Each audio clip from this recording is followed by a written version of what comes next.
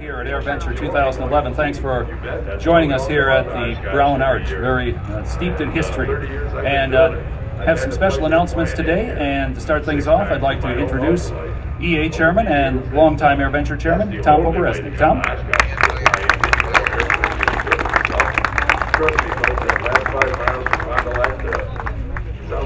You're probably wondering why I asked you to come here today. And I'll tell you why, or what and why, and we'll talk about it a little bit. I asked you to come here today because I'm announcing my retirement, and now I'm going to tell you why. You know, in life, there's one letter that can be your so anyway, as I was failure, this morning, uh, we and two letters that can be your success. What's the one letter? I. antique ultralights like I The two letters are W-E, 80, 81. we. What's that say about you, Frank? So when I We're talk here older. today, I want to talk about we, not I. I'm a person. Yes, Obviously, I'm the center of this announcement. Yes, we are. We're going to talk about we. Well, uh, something I learned a long time ago. Why am I retiring? from behind these glasses, I I've been with this like organization 39. for 49 years. How many of you in this audience are not even 49 years old yet? I know them. Everybody down there that I've ever. And I spent my whole life working for the organization. Very proud of what we have done together.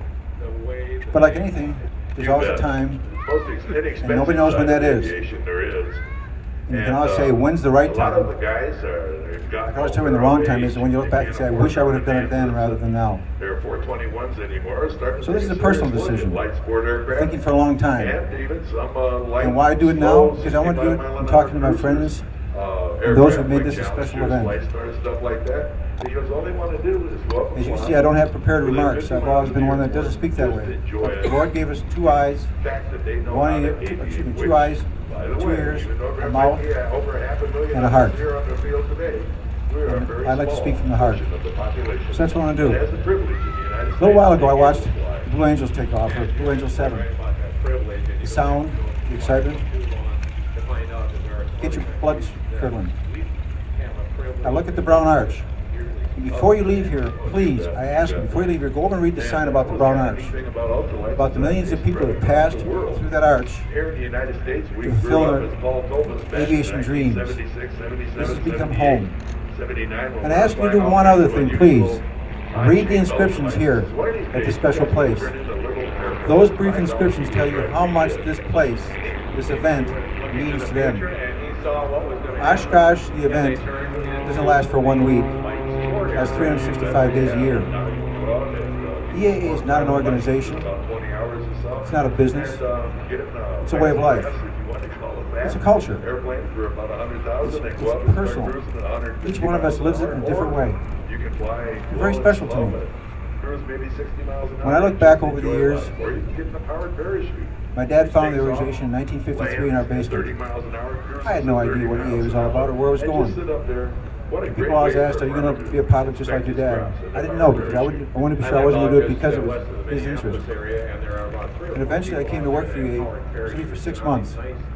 That was over 40 years ago. I look back, there are many things that I value out of this relationship, many things. But among those that are special, I'm going to share with the members, is this event, this location, Oshkosh. You built it. 6,000 plus volunteers were dedicated to the mission, the mission you established. Very special. What people always ask me, what do I like the best about Oshkosh? What excites me? They always ask, what airplane? It's no airplane. It's my pride. The ability to take people around and show them what you've accomplished. I've had the pleasure of taking credit for what you've done. Yesterday, I took a gentleman around, Mr. Ito. Mr. Ito is the head of Honda Global, the number one person at Honda. As you know, the Japanese have a culture. I bowed a lot yesterday in acknowledgement. This gentleman was, for lack of a better word, blown away by what you've accomplished. The high standards, the cle- cleanliness, the way people are treated, the respect for each other. Done. That is the greatest pride that I have. Number two, My dad's here. We had an argument. I guess you could call it that. Years ago, when it was time to move to Oshkosh, he wanted to put up a metal building. I said, let's make it something more, because it's going to be the home for aviation. His comment was, okay, if you know so much, you do it, which is called delegation of authority. And I'm very proud to say that we together built the EAA Aviation Center, which has become the year-round home for aviation, not just one week a year.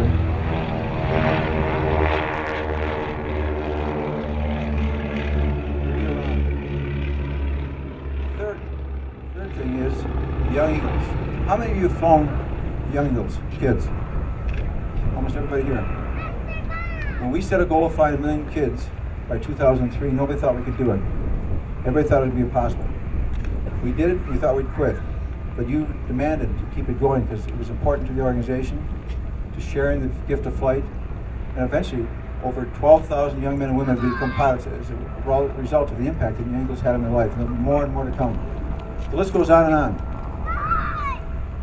EAA is an outstanding organization. It has a unique role within the aviation community. There are many fine organizations that are Washington-based, advocacy-based. This is a field organization that's where the action is. You make it happen. We have a wonderful staff. They facilitate. You make it happen.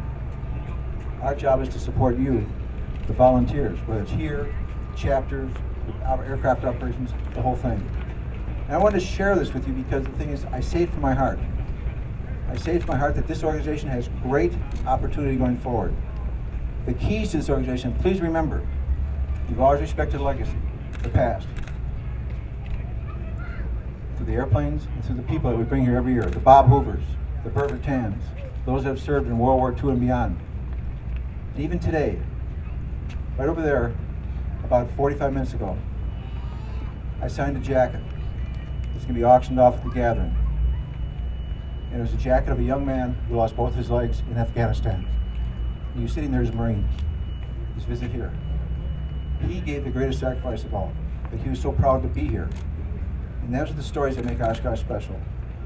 Those stories are important. Going forward, this organization has tremendous potential. It's had, and it will be even greater going forward. What you have done, what you all can do for aviation, is unbelievable. I'm still going to be involved in aviation. I'm going to be involved in a lot of things. But I'll tell you what, I'm not going to miss looking at my BlackBerry every morning. I'm not going to miss looking at my cell phone every two minutes.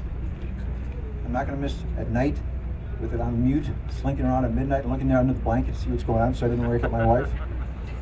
You know, EAA is a 24-hour day, seven-day week job. But it's not a job. It's something that's very dear to me, to my family. Since I've been married, my wife only knew one thing, EAA and air shows. This has been very special for my wife, Sharon, my daughter, Leslie. Important part of it. Bingo. Hard landing. But like anything else, when you want to move on, it's not so much moving on because you want to, it's because you see the fact that you have opportunities to fulfill that you haven't done yet. And that's what I want to do. I'll be 65 years old. Didn't work very well. I'll be 65 years old in just a few days. And there's still things I want to do, and I've come to realize that I won't have a chance to do them if I don't take the time to do it. There's places I want to go, things I want to do, things I want to share. And what happens is the fact is that when you're so integrated with something, sometimes it's hard to let go. And then someday you wake up and realize that. And when you do, it feels good. Because people tell you how great it is, but until you experience it yourself, you don't know. So this is not a press conference. This is a message to the members. We have obviously media here. I hope you capture the heartfelt thanks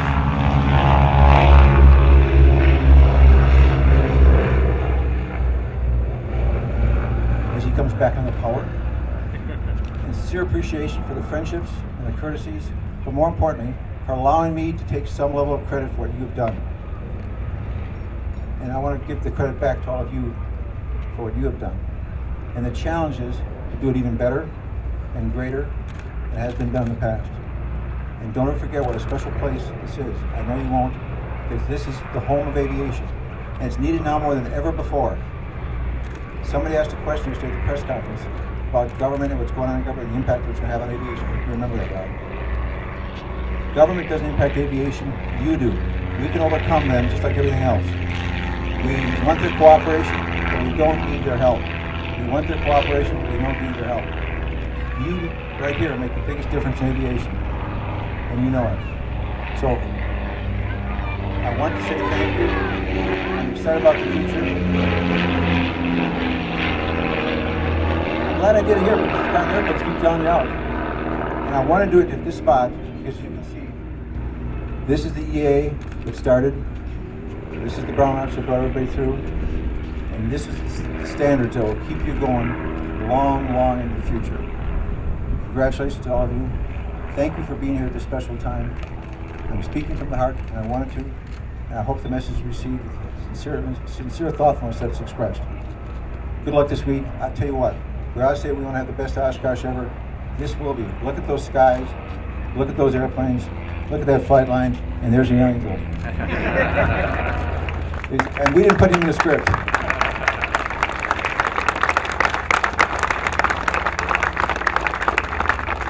One last thought.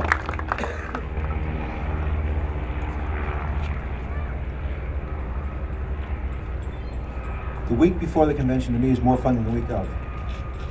To watch everybody arrive, to watch it evolve, to watch it build, and to watch the friendships.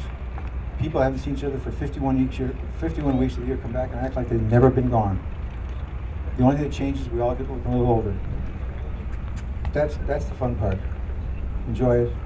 Thank you very much. I look forward to success, success for EA and look forward to continuing to see many of you in years to come. Thank you.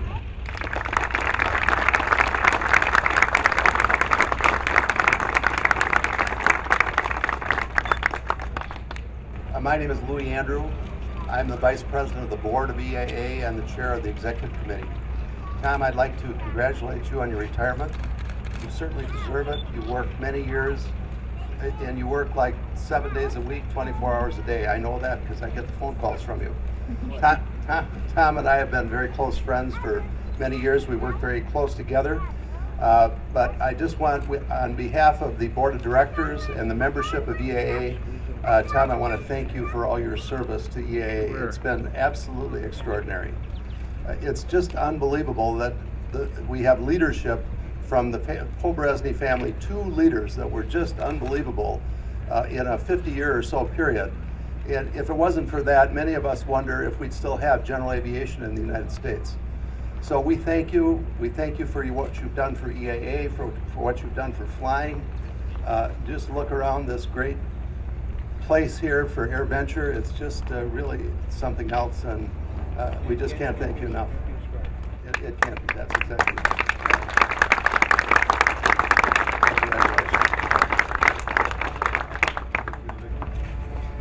Well, Tom, I'm, I'm going to say to you once again, in front of everybody, what I've said many times before to you, that I am so proud to be a member of the EAA.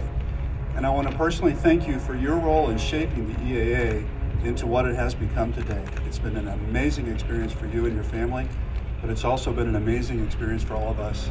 So personally, thank you for that. Professionally, on behalf of all of the EA members, thank you for what you've done for aviation. And I'm really glad that you're only a short drive and a quick phone call away. Look hmm. forward to the future. Congratulations, Tom.